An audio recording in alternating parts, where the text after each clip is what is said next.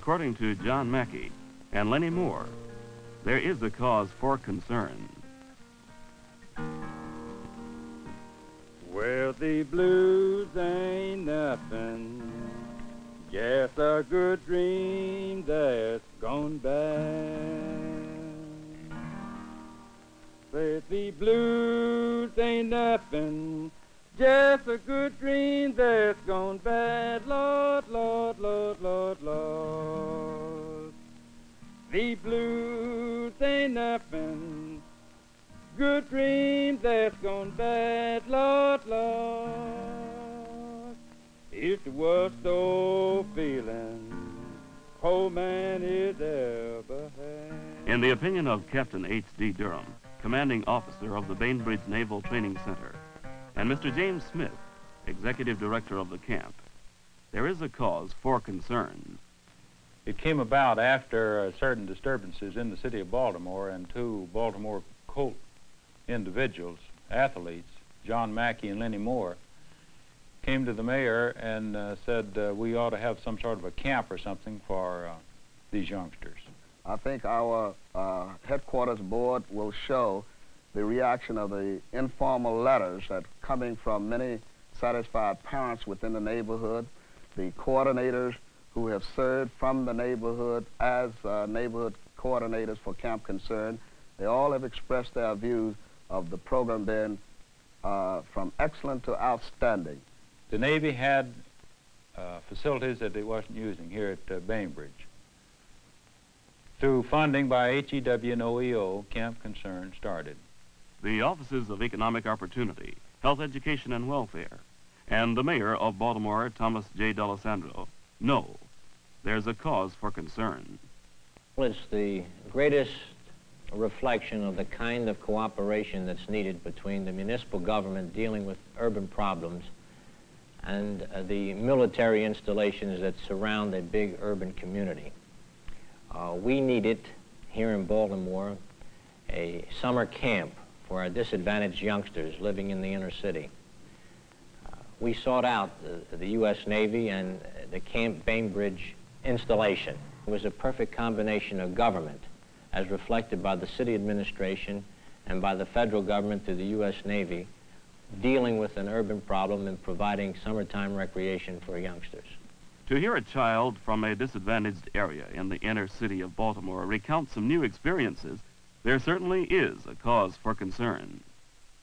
Every morning when we go to get on the bus to go to Camp Concern, wow, we see some apple trees with on our way coming. And when we get to Camp Concern, we have to go and sit on the bleachers, and then then we um go swimming, and then we'll go to eat our lunch. And I think Camp Concern is a very nice, a very nice place to come.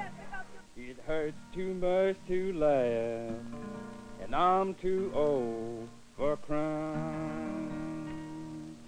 It hurts too much to laugh, and I'm too old for crying. Lord, Lord, Lord, Lord, Lord. It hurts too much to laugh, and I'm too old for crying. Lord, Lord. When I sang the blues, just to ease my troubles and mine. When I get on the bus in the morning, we always have to cross this big long bridge to see this water uh, with fishes jumping up in it. On the way over, then we sit and then we pass the um, bridge with water, and we look in the water and we see boats. Then we get then we see cows and horses. So this morning we went swimming, and from swimming we come down from, from lunch. I saw a pear tree, and I saw um, an apple tree, and um and a tree, you know, like bu- bushes and leaves all on it, spider webs all on and everything. We go into the bridge, then we get there. And when we come camp concern, we get off the bus, then we go and sit down, and then we say the pledge. The Pledge of Allegiance starts our program. We both felt that this is something that should be open for the campers to do, but an idea to see if they would enjoy it. I pledge allegiance to the flag of the United States of America and to the republic for. From the first day this year that we started it, the camp director asked for a volunteer to lead the Pledge of Allegiance. Some 200 hands were held.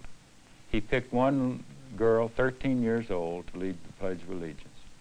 And this is, this is real heartwarming and gratifying to see a 13-year-old step down in front of 550 of her contemporaries, peers, and subordinates and say, follow with me and say the Pledge of Allegiance. And I think uh, the expression and the cooperation, volunteer cooperation on the part of the campus spoke for itself by saying, we are Americans, we are proud of being American.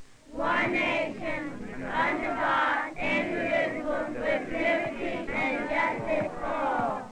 It's become so popular that the camp director has been using four or five to lead the Pledge of Allegiance. From this, we move on into the different activities. One, two, two, to the corner. Come on, Mike, you got a pick on him. That's not a pick, boy. You got a pick. One, one. Got the mismatch in the corner. Mike Farrell, come here, boy. Come here. Go to the other side. Get him, get him. Other side. Set it up. Put it back. Come back, Woody, other side. Come on, you got to think. Come on, Mel, come up. Quick. Move the ball. Gotta move the ball. And move the ball, come back out. Time, time, time. Come on. Woody, what you doing, boy? Camp Concern uh, started last year.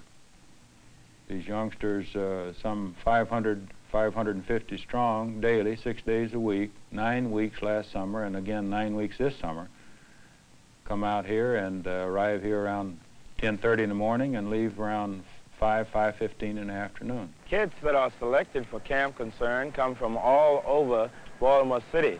It is the policy of the executive director, of which I agree, that we have all types of participation regardless as to race, creed, color, and we have no lines dividing Baltimore City, no set ghetto areas.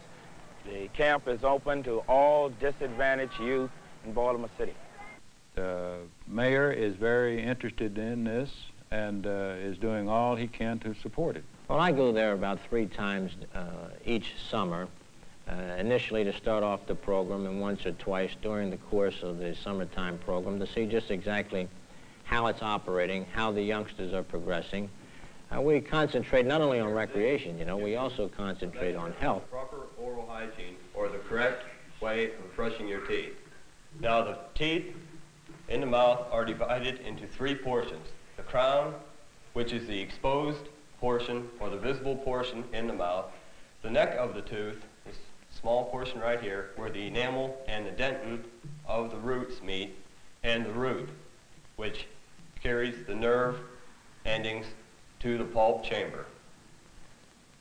Now, the crown is covered with enamel, which is the hardest substance in the body. Now, the mouth is divided into four sections or quadrants. The upper right outside surface, the upper left, the lower right, and the lower left. Sailors around the camp know there's a cause for concern. Many volunteer to help the counselors. Many volunteer to teach.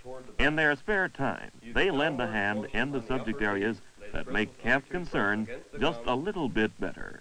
And work toward the back of the mouth. How many times do you brush your teeth? After every meal. After every meal? Yes, that's twice a day. Twice a day? Yes. That's good. You should brush at least after every meal. If you have a snack, you should at least rinse your mouth with water if you cannot brush. Okay, how many times do you go to the dentist a year? Once. Once a year? Do you find that when you go to the dentist you have a lot of decay? Well, we do have follow-up procedure through our health component services. We direct them to our local health station or through the health department who assist us in uh, funneling these people where they can get aid. That's exactly the point. Uh, a lot of us talk about recreation, but health plays an equally important task. From a practical point of view, we're still in our infancy, uh, but we're working along the way. And here, uh, the federal government, uh, through the U.S. Navy and through Bainbridge, have planted the seed for a health program that allows follow-through by the municipal government, which we hope will provide good health checkups and results for youngsters who ordinarily would never be exposed to that kind of examination.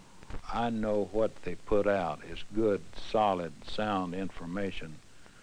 They show film on uh, social diseases. They show film on uh, drug abuse. They have lectures on uh, alcoholism. It is good information and is put out at a level that they can understand. After a, a day of uh, recreation, health lectures, dental hygiene lectures, basketball clinics, wrestling, and two good Navy meals. They leave tired but happy and These people, and this is the inspirational part of it, uh, for once we have a program that people become involved. We're in an age where we're talking about uh, community involvement and decentralization. Camp Concern offers just that for the neighborhood coordinator. And it's the greatest thing in the world to come down early in the morning through the city, especially in the hot months of June and July and August, and see these youngsters uh, congregating on corners at different intervals of the key intersections of the city, waiting for Bainbridge, the Bainbridge bus.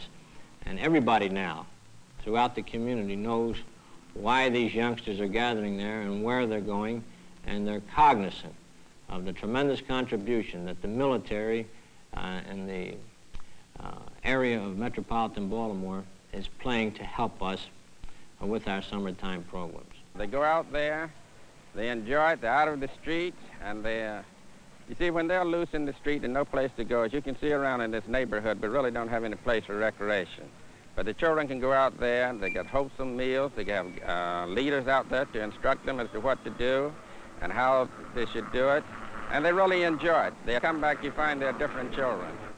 These uh, counselors are some of the finest individuals I've, I've ever met. They do work six days a week, and they get a new group every every Monday. So what they did last week, or how they instructed that individual last week, doesn't hold over for the following week because they have to start all over again. And I imagine they do have many tiring experiences. This is the amazing thing about the way they handle these, these kids. Well, it gives them a good head start. It, knows, it learns them how to treat people. It learns them in so many ways and so many other things to do. There's one counselor per 25 youngster.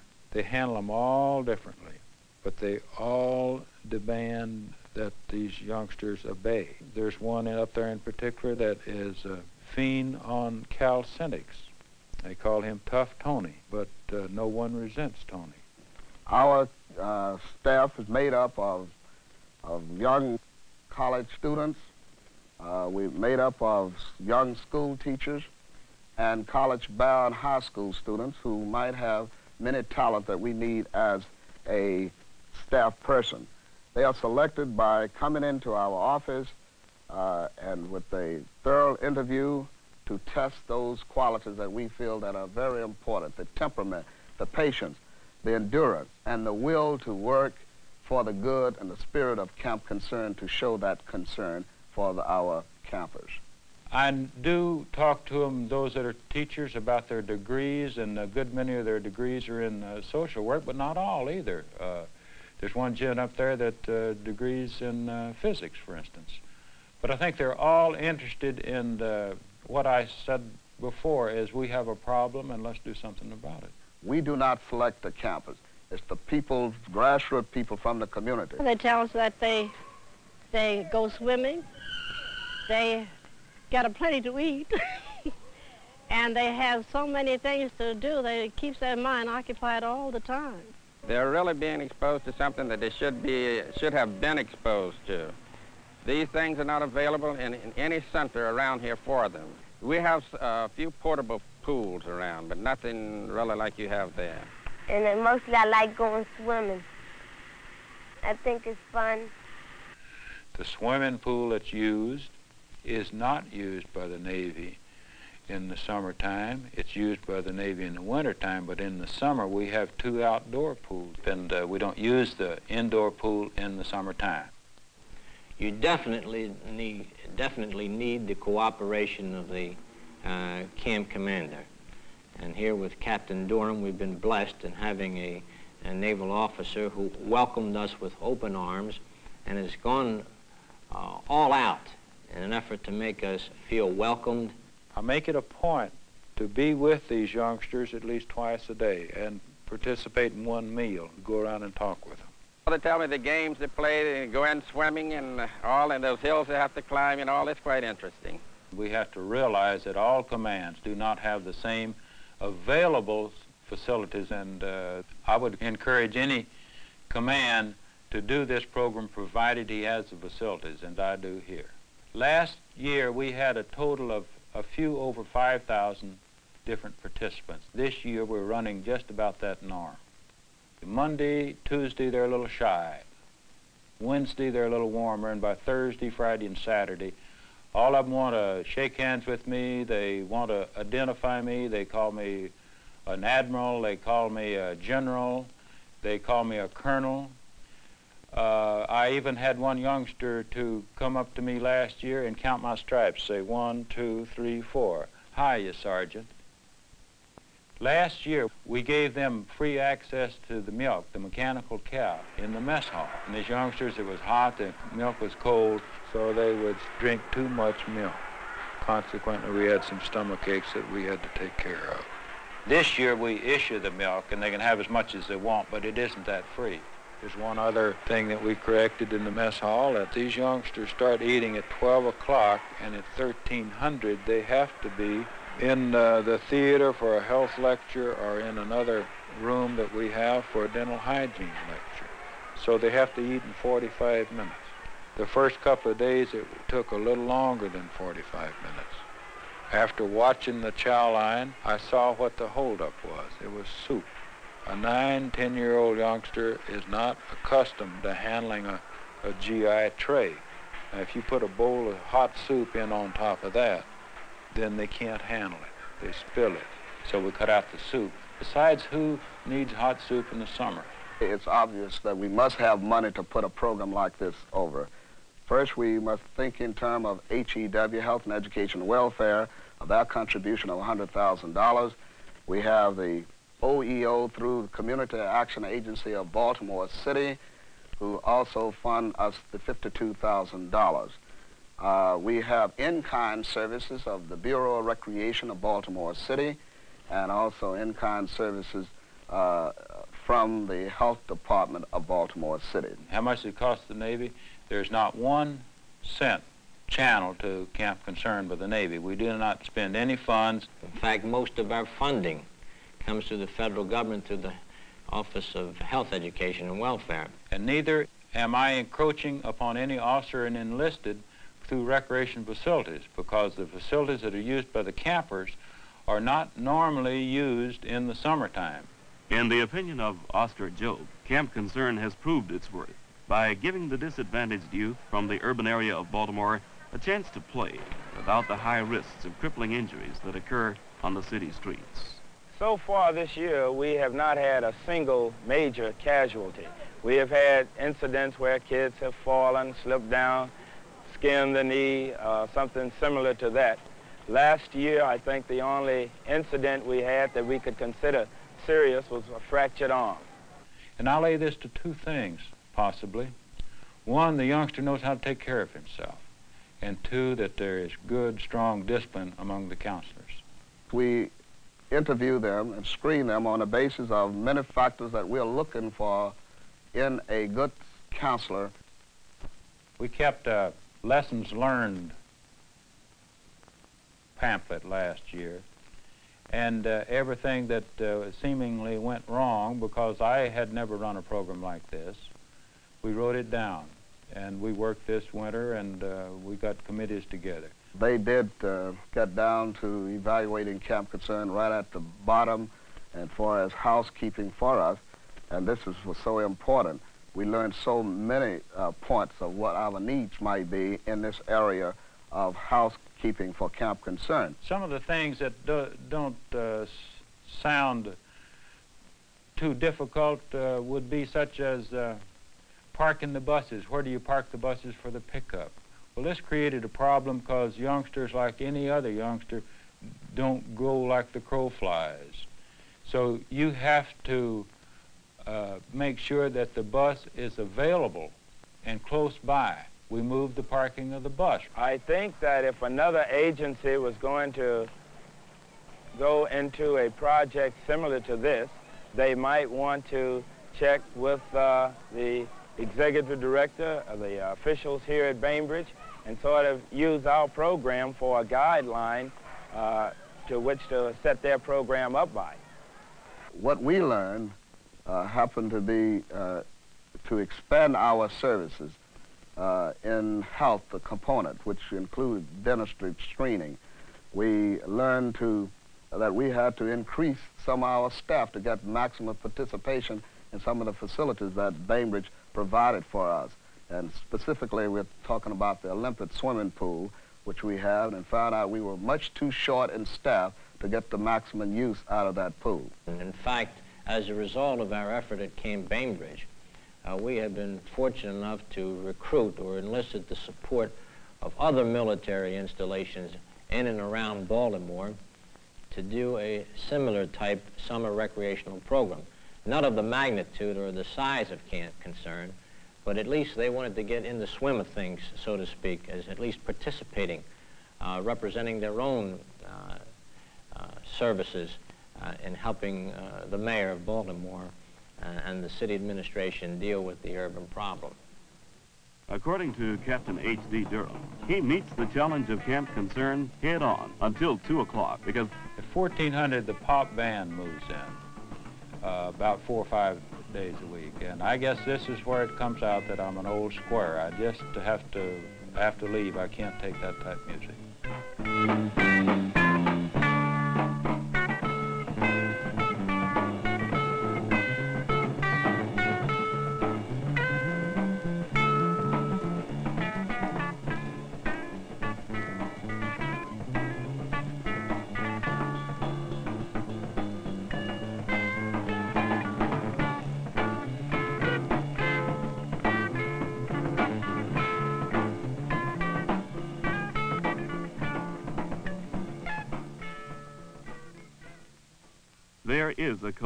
Camp concern, a cause that is familiar to many in this country today, a cause that is found in every major city where the disadvantaged are pushed out of the way for progress. It is caused by big industry, riots, racism, riots, poverty, riots. And we have a social problem here. And I think we can say it's caused by... Whatever we want to say it's caused by, but I know where the responsibility lies. It lies in the American citizen. My mission here at Bainbridge has not changed one bit. I am still uh, charged with providing services so that trained male and female Navy types go to the fleet. But we're all charged as commanders of bases to, for community relations, and this is where I move in as a, in my community relations project. The youngsters receive the tangible benefits uh, of the uh, program, but the mothers and the neighbors down in the neighborhoods see these buses come, see their children leave, uh, see the uh, children pick up their spirits and also pick up weight in many instances if you're talking butter and bread and uh, come back a happy child, a more alive child, a more interested child. And this, I think, has been a soothing effect uh, throughout the city. We don't operate the program with the idea that by doing this program, we're avoiding any civil disturbance or anything of that nature. We're programming for people. It's a good program per se. The results justify what we've done, and we hope we're planting the seed uh, for these youngsters to develop into solid citizens.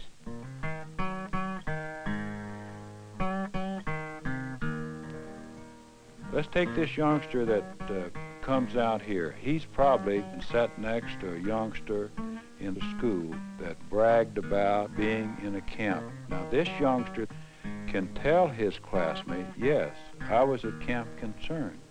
I don't think enough can be said for a program like Camp Concern, where you take the youngster and treat him as an individual. Camp Concern does. it notices them. There is a cause for concern. Camp Concern is a program that supports this cause. And it's not a piecemeal approach or a cooling off approach as far as operating under duress that if we don't do something, we're going to have uh, disturbances. It's just a good program, and that's the way we started it from the very beginning. When we get on the bus to go back home, we sometimes we pass the buses and and the children be laughing and playing on the bus, and then we talk and and play on the bus.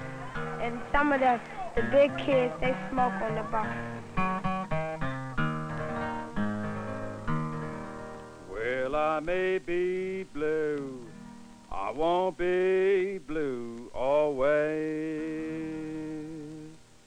Says I may be blue, I won't be blue always. Lord, Lord, Lord, Lord, Lord. I may be blue, I won't be blue always. Lord.